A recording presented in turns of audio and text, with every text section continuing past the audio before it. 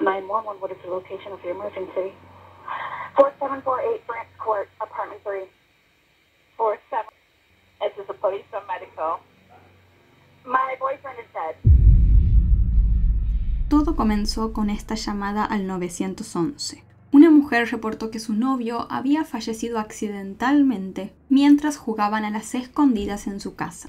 Los agentes de policía, preocupados y desconcertados, se dirigieron rápidamente al lugar de los hechos. Lo que encontraron allí los dejó impactados y conmocionados. Mi nombre es Desiree y este es el caso de Sarah Boone y Jorge Torres. Nos ubicamos en el año 2020 en Miami, Florida, más específicamente en Winter Park al norte de Orlando. Jorge Torres era un hombre de 42 años. Tenía tres hijos, pero se encontraba separado de la madre de estos. Sin embargo, no estaba solo. Había formado una pareja con una mujer llamada Sarah Boone de 42 años, quien también tenía un hijo de una pareja anterior. El vínculo entre Sara y Jorge era fuerte, pero estaba lejos de ser una relación basada en el amor, sino que con el tiempo cada vez más se fue convirtiendo en algo oscuro y tóxico. En el año 2018, Jorge había acudido a la comisaría para denunciar a su pareja Sara tras haber vivido una situación aterradora con ella. Jorge afirmó que durante una discusión Sara había intentado estrangularlo. Le colocó sus manos alrededor de su cuello mientras él intentaba alejarse de ella subiendo las escaleras. En un acto de defensa propia, mientras Sara lo atacaba, Jorge se vio obligado a patearla. Lamentablemente, este tipo de situaciones y de denuncias no se detuvieron ahí. Sara fue arrestada dos veces durante los meses siguientes, debido a más cargos de violencia en el noviazgo. Parecía que el vínculo entre Sara y Jorge era cada vez más tóxico y violento. Sin embargo, la situación dio un giro inesperado cuando fue Sara quien acusó a su novio Jorge de violencia doméstica contra ella. Como resultado, Jorge también fue arrestado. Sorprendentemente, y al igual que con Sara, esto no sucedió una sola vez, sino que Jorge fue arrestado un total de cuatro veces debido a este tipo de denuncias por parte de su novia. Lo más llamativo de todo esto fue que a pesar de las detenciones de Jorge, siempre era Sara quien terminaba retirando la denuncia y sacando a su novio de la cárcel. Esta dinámica complicada y peligrosa dejaba bastante en evidencia lo tóxico que se había vuelto su vínculo y su relación. El día 25 de febrero del año 2020, aproximadamente a la una de la mediodía, Sara realizó una llamada a la policía y dijo que su novio Jorge estaba muerto debido a un accidente. 911, what is the location of the emergency? 4748 Branch Court, apartment 3. 4748, what's the street name? Branch, F-R-A-N-C-D. And the apartment number? 3. This Is a police or medical? My boyfriend is dead. Los agentes de policía al escuchar esta llamada se dirigieron de forma inmediata a la casa de Sara.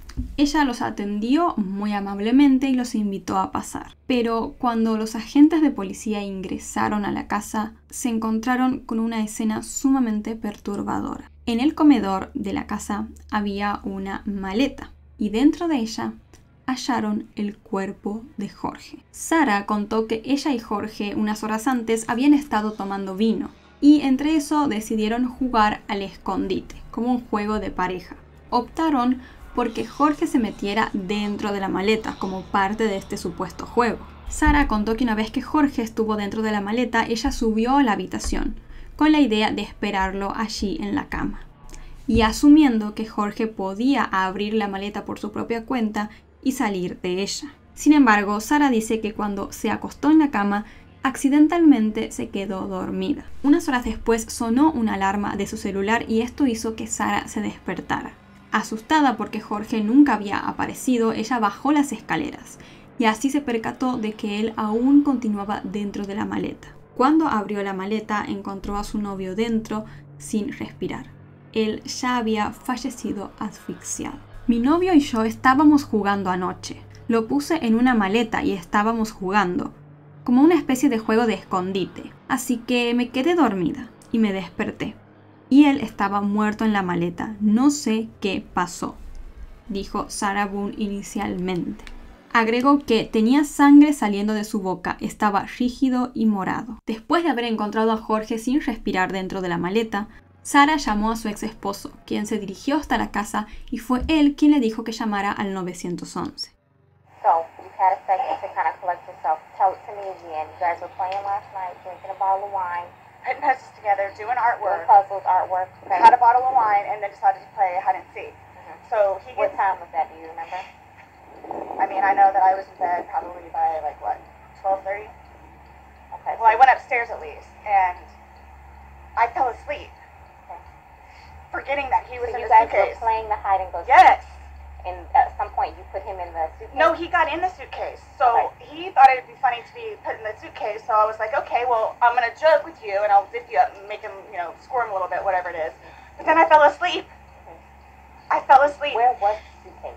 right where it in is. it, right down there. Yes. You zipped him in there. Yes. Thought it would be funny, a little. Bit. It was. We both were laughing about it, and then I fell asleep Where did you fall asleep at? upstairs.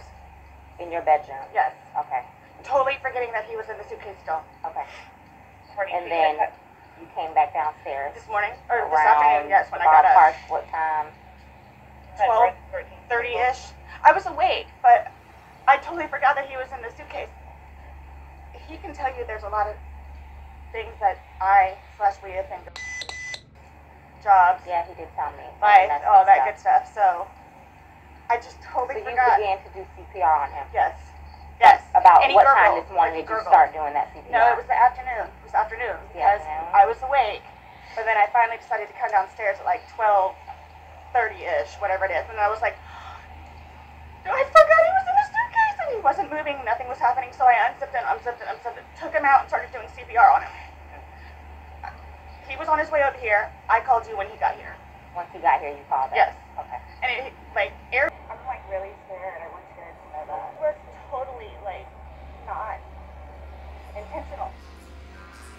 Los investigadores no creían demasiado en esta versión de Sara, no solo porque la historia de por sí era extraña, sino también porque notaron que la mujer tenía un pequeño corte en el labio y algunos rasguños alrededor del ojo. Como parte de la investigación de la muerte de Jorge, los agentes de policía le pidieron a Sara su teléfono celular y ella se los dio sin problemas. De esta manera fue como los agentes se toparon con los videos más aterradores y dolorosos habían visto alguna vez. En uno de los videos, según diversos medios, se ve la maleta cerrada y se escucha cómo Jorge le ruega a Sara que lo ayude a salir de ella. Le dice que no puede respirar. Sara, no puedo respirar, nena, se escucha que dice Jorge. Eso depende de ti, responde ella. Sara, no puedo respirar, dice de nuevo Jorge. Eso depende de ti. Eso es lo que siento cuando me engañas. Probablemente deberías callarte la boca, le responde Sara, en un tono que incluso parecía que se estaba riendo. Jorge se iba quedando cada vez con menos aire, y por esto con una mayor desesperación le seguía rogando a su novia que lo sacara de la maleta. Y todo el tiempo, según cuentan, se podía oír a Sara riéndose. Jorge continuaba con sus plegarias. No puedo respirar, le decía. Hasta que Sara en un momento le dice que de esta manera él iba a pagar por todo lo que le había hecho. En uno de los videos incluso también se dice que se podía distinguir cómo Jorge golpeaba la maleta desde dentro, desesperado por salir. O sea, ustedes imagínense nada más, pongámonos un segundo en los zapatos de ese hombre para imaginarnos aunque sea un poco la desesperación que debe ser esa situación. Según los investigadores, esos videos se grabaron poco después de las 11 de la noche, del día anterior y por lo tanto horas antes de que Sara finalmente llamara al 911. Con todas estas pruebas, Sarah Bond fue detenida inmediatamente. Este caso salió en las noticias y terminó teniendo una gran repercusión. Pero no solo fue por lo espeluznante de la situación, sino también por lo que vino después.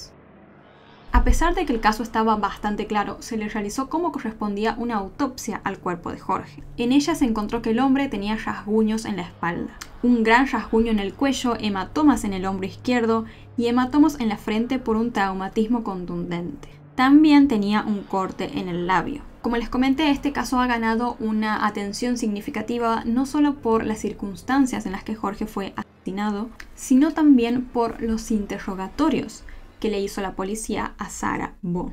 Pues el día 25 de febrero del año 2022, Sarah Bond estuvo en la oficina del sheriff del condado de Orange, en donde habló con los detectives sobre el caso por casi dos horas. El interrogatorio de Sara se consideró particularmente notable debido al hecho de que los investigadores la confrontaron en persona con los videos que ella misma había grabado, pues tenían imágenes muy explícitas del crimen. Sin embargo, Sara afirmaba que era totalmente inocente y que la situación no había sido más que un accidente. Durante este interrogatorio, Sara dijo que las lesiones que tenía Jorge, por ejemplo, en el cuello y en la espalda, se debieron a que él junto con su hijo se habían caído de una bicicleta y que al parecer habían chocado contra una pared. Los detectives le pidieron a Sara que ella misma mirara los videos encontrados en su teléfono celular. Sara miró los videos por un momento y luego dijo que no quería verlos más. Pero sí le dijo a la policía que ella no recordaba haberlos grabado y señaló, según sus propias palabras, que esos videos se veían mal. Ella le continuó insistiendo a los investigadores de que estaba segura de que Jorge podía salir de la maleta por su propia cuenta alegando que él podría haber abierto la cremallera desde dentro. Pero la policía le contestó que se podía ver claramente que no había quedado en el cierre ningún tipo de agujero por donde Jorge pudiera haber metido el dedo, por así decirlo, y haber corrido la cremallera por su propia cuenta. En el video no puedes ver ningún agujero, dijeron los policías. No hay ningún lugar donde la separación de la cremallera pueda haber un agujero. No lo subí del todo, no lo subí del todo, esto es horrible, ¿de acuerdo? Horrible, horrible contestaba Sarah Boone. No fue intencional, pondré mi mano sobre la Biblia, no fue intencional. No le haría eso ni a él ni a nadie más, siguió diciendo. Pero lo hiciste, le respondió el detective. Pero no intencional, insistió Sara en su respuesta. Y continuó afirmando que estaba segura de que su novio podía salir por su propia cuenta de la maleta. El video completo del interrogatorio de Sarah Bond está disponible en internet. Yo quería hacer una reacción en este video de este interrogatorio, pero la realidad es que dura dos horas. Es bastante largo este video, sería eterno si reacciono por completo a este interrogatorio, así que pensé, si ustedes están interesados, en hacerlo en otro video diferente y ya como dedicarle un video entero que igual va a durar, como les digo, casi dos horas pero dedicarle más que nada a eso, ¿no? A ver el interrogatorio, a reaccionar y a opinar del mismo si ustedes tienen ganas. Déjenme en los comentarios si quieren que haga ese video. Mientras vamos a continuar con el caso. Finalmente, Sarah Bone fue acusada de asesinato en segundo grado y terminó recluida en la cárcel del condado de Orange sin derecho a fianza.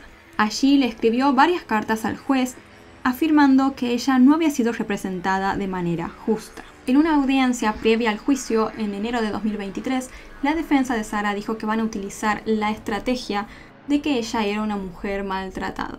Básicamente de que eso, de que ella sufría violencia de género y que lo que hizo lo hizo más que nada para defenderse. Sin embargo, dadas las pruebas que hay en su contra, se cree que va a ser bastante difícil para la defensa seguir este camino. Se esperaba que el juicio de Sarah Boone se llevara a cabo durante abril de este año 2023 pero se pospuso hasta julio. Yo estaba esperando que llegara el día del juicio antes de grabar este video, pero la realidad es que se volvió a posponer hasta el día 2 de octubre. Hasta el día de hoy, Sarah Bond se declara inocente del crimen de su esposo y sigue alegando que fue simplemente un accidente. Bueno chicos, este fue el caso de Sarah Bond. Es un caso que es sumamente cruel. Es como que yo de verdad no sé. No me puedo ni imaginar lo que debe haber sido eh, vivir esa situación que vio ese hombre fallecer de esa manera. De verdad es como una desesperación, ¿no? una, una forma muy fea y una crueldad por parte de ella. De verdad saber que él se estaba muriendo ahí y no importarle nada y encima filmarlo. Es como que de verdad estos casos, no, no, las películas se quedan cortas, de verdad hay demasiada maldad en el ser humano a veces, demasiada maldad. También hay mucha bondad, no hay mucha gente que sí es buena, de verdad, pero bueno, como todo hay extremos y hay gente que es demasiado mala como para llegar a hacer estas cosas que uno dice, o sea, no sé, no las entiende. Yo creo que es ya casi imposible de que Sara eh, zafe, como mucho reducirán la condena, pero condena estoy casi seguro que va a tener. Y en un 95% estoy casi seguro que va a ser perpetuo porque hay videos, hay todo en contra de ella, va a estar muy difícil para su defensa, así que más que nada tenemos que esperar. Y bueno, en cuanto salga la sentencia, veré si les hago un short o les dejo en un comentario fijado la actualización o veré cómo se los comunico. Esperemos que el juicio no se siga atrasando para que Jorge pueda tener finalmente justicia. Así que fue, este fue el caso de hoy, espero les haya resultado de interés. Si les interesa este tipo de contenido en general, no olviden suscribirse al canal y activar la campanita de notificaciones para que YouTube les avise cada vez que suba un nuevo video. Antes de irme les dejo como siempre por acá mis redes sociales, por acá un botón para que puedan suscribirse y por acá abajo videos o listas de reproducción recomendadas por ustedes. Muchas gracias por verme, les mando un beso enorme. Ah, y también coméntenme si quieren ver video de la reacción del de, eh, interrogatorio. Ahora sí me voy, les mando un beso enorme, los veo la próxima.